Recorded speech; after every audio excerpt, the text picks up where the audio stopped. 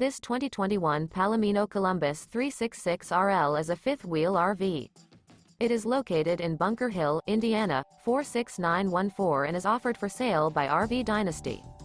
This new Palomino is 38 feet 0 inches in length and features three slide-outs, sleeps 4, slide-out, and 75 gallons fresh water capacity. For more information and pricing on this unit, and to see all units available for sale by RV Dynasty visit RVUSA.com.